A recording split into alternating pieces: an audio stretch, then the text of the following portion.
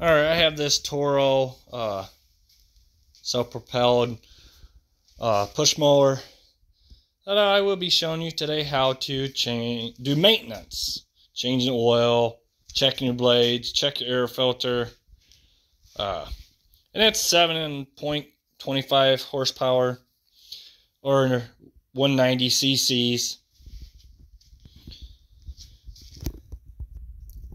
And as you can see, there is no drain plugs on this push mower.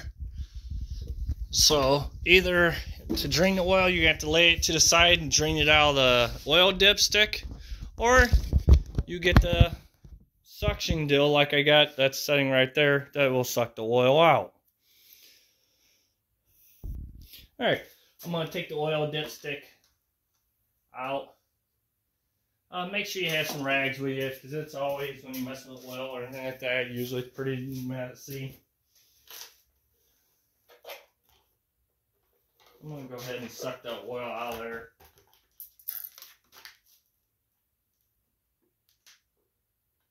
And all I gotta do is just send this tube all the way down to the bottom of the motor and pump it. And as you see, it starts sucking it out of there.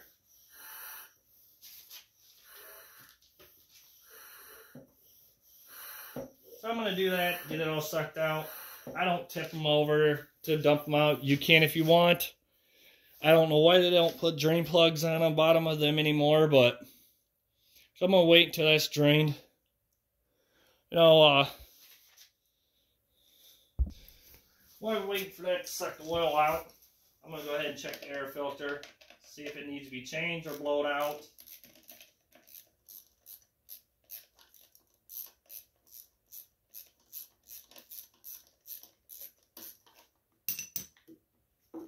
And I see it's pretty new, so no, I don't need to change that out. So I'll go ahead and put that back on. And it goes like that. Goes back on there.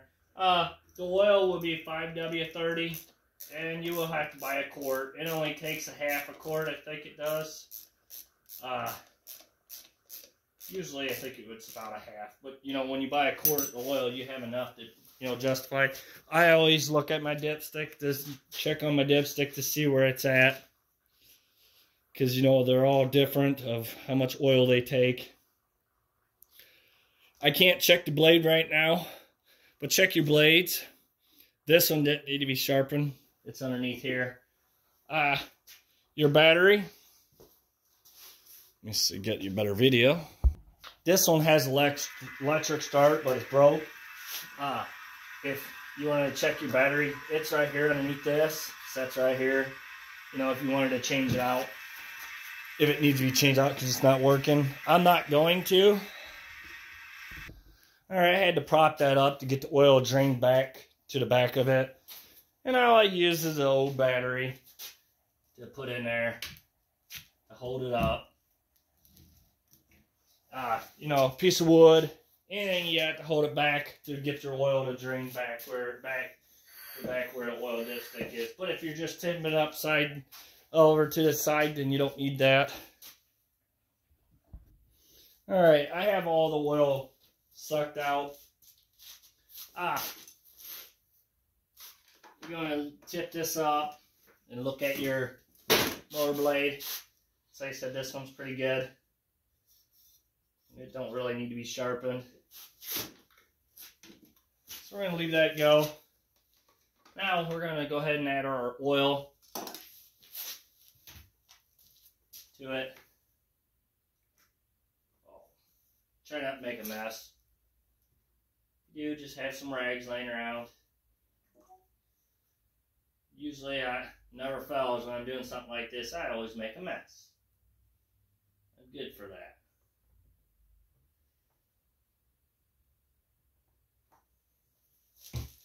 Have oil dry laying around. Something, you know, where you can uh, suck the oil up in.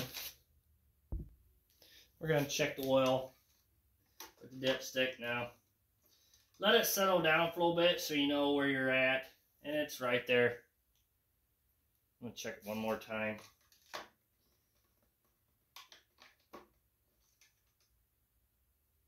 Yeah. So we're good on oil.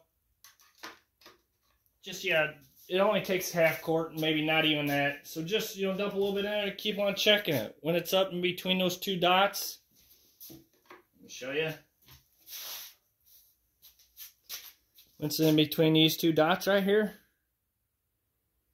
You know, within those two, you're good.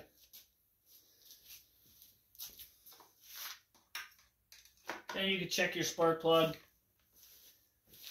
This one I'm not going to change. You can change it if you want. And that should be it. Thank you for watching. Please subscribe.